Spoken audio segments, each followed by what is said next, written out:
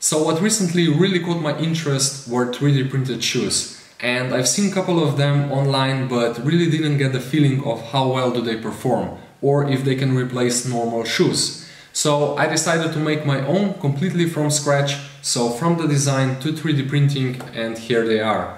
I asked myself all these questions, so how well do they perform on different terrain, are they affordable, can an average guy make them, and I decided to make this video to answer all these questions together. So let's do it.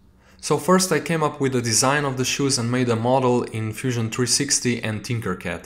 I wanted something really simple but really robust and something that would resemble a boot. I also took some inspiration from Crocs and added a bunch of holes on the side of the shoe and on the toe box. This allowed for the shoes to be more lightweight, airy and also to reduce the plastic needed to make them. I designed the sole of the shoe to have a really nice grip and also bend the whole thing so that each step carries you into the next one. Now the first problem I had to deal with was the size. My foot length is 26.7 centimeters or 10.5 inches, but my building plate of the 3D printer is only 21 by 21 centimeters, so I had to tilt the shoe and place it diagonally. For the filament I chose the standard TPU because it's known to be stretchy and durable, but it's also a little bit hard to print, so I had to tweak a few parameters to get it done. When I finally first sliced the model in Cura, I was shocked. 3 days and 20 hours to get it done and 605 grams of plastic to be used. It immediately became even more challenging, but I just went for it. So for my first try the printing setup was pretty basic. An FDM 3D printer and a TPU filament, that's it. So after 14 hours of printing I came to this.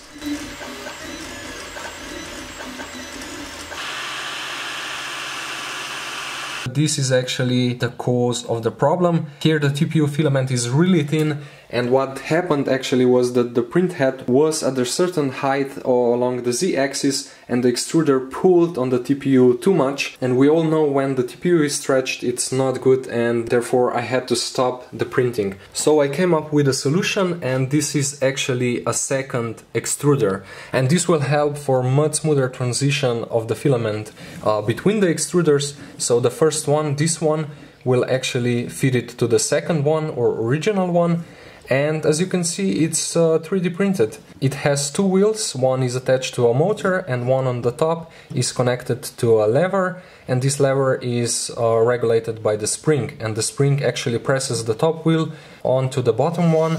And the filament goes between these two wheels. Once the motor is activated the filament is fed through. And this will be actually attached above the filament detector and will help to yeah guide the filament and prevent uh, the stretching of the filament.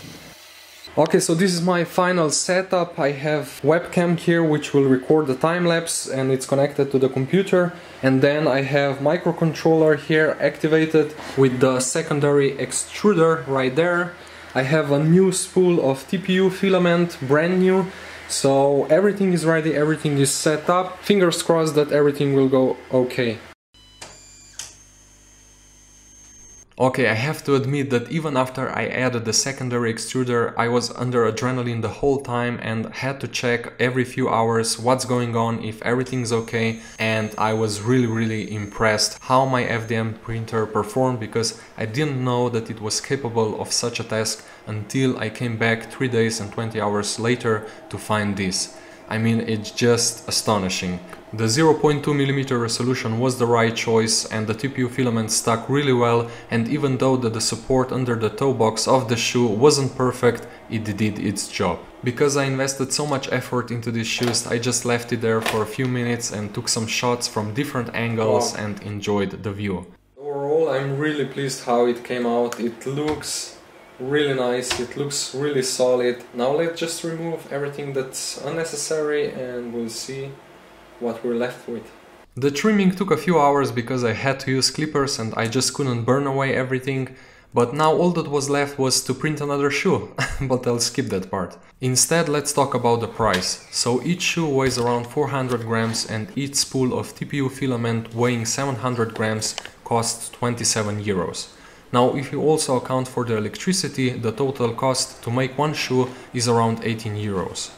So here they are, here are the final shoes. I'm really pleased how they actually came out. They look super clean but also really robust And yeah, uh, now my plan is to test them for 100 kilometers, to wear them indoors and outdoors on different terrains, and I can't wait to see the results and how they perform. The first idea was to test the shoes indoors on a flat surface to see how comfortable they are, if you can wear them for a longer period of time, if you can do stationary chores in them, and just to get a feeling for the new material. I thought a lot about custom shoelaces but then decided to use the TPU because it's strong enough and it goes well with the shoes. At first I was the most worried about the sole of the shoes because I used cubic infill, a pattern that leaves you with a lot of empty space and I just couldn't imagine that these shoes could hold my weight. But as you can see they did an amazing job by retaining their original shape even after going up and down the stairs. Because the ultimate goal was to test how well do these 3D printed shoes perform and if they can endure 100 km challenge, I started to count the kilometers from the first day that I put them on. First I did 9 km indoors but then I had to find new challenges and new terrains so I took them outside. I first started with a long walk along the grass pasture, but then I quickly became bored and really wanted to test the flexibility of the TPU and the shoes themselves, so I went for a run on the first day. Shoes are really comfortable from first-hand experience, but the edges are a bit sharp. So maybe if I soften the edges, it would be even better. But so far, they're quite, quite nice. After a few running sessions, it became even more evident that the edges of the collar are indeed too sharp. So I used an old hair straightener and heated up the plates and pressed them onto the edges to make them more dull. And this really seemed to have worked because I was able to collect 50 kilometers by combining straight tracks and running sessions. But it turned out that this was only the beginning. I had to test what happens if I'm going uphill. What happens if the incline is more than 10%, what forces come into play, and if I can even keep my shoes on. To test this I set out and climbed various hills and mountains ranging from 900 to 1600 meters above the sea level. One time I even wore the shoes while driving to the starting point.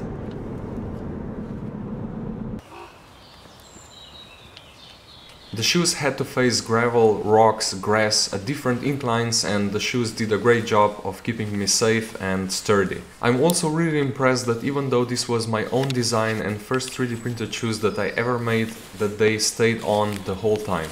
Unfortunately there were also moments that I couldn't capture and those were actually the impressions and comments from the other people that were passing by and they seemed to be really curious about the shoes, but I just didn't have my camera with me. At around 70 km mark the right shoe seemed to have reached its limit. I first noticed one of the tears on the side of the shoe which got bigger and bigger until it reached one of the side holes. But I assumed that this could easily be avoided if the shoes weren't printed with an FDM printer and if I reduced the number of side holes around fragile places.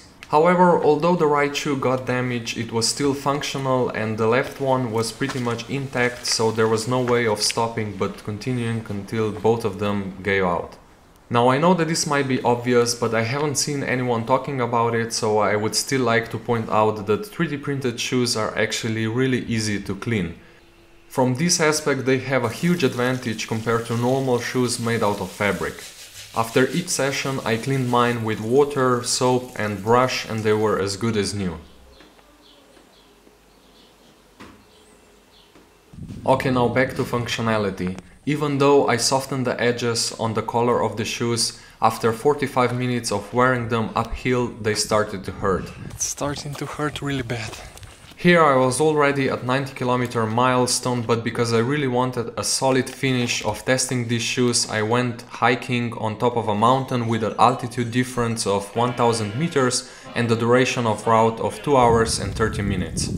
Okay, so we are roughly at 1600 meters and these shoes did their job. They're still good. We'll see at what price did we get here because my ankles hurt really bad, so yeah, after reaching the top I had to switch from my 3D printed shoes to my standard hiking shoes because the pain was just unbearable and the grip was wearing out. Even though I had no visible blisters, this was the price I had to pay. After completing the challenge I took the shoes to my friend's house to see their reaction. But because they already knew about the shoes, I only got a couple of sarcastic reactions. I think that they expected that the shoes will be much more smooth, much more comfortable, maybe padded or something like that. Either way, we had a really nice time filming this, Jure jumped in them and also proved that you can actually moonwalk in these shoes, while Meta claimed that they are above Yeezys. Oh my god! Z has nothing on these. And she also made some other exaggerated statements that I had to censor. To sum up, making your own 3D printed shoes is completely doable and even affordable.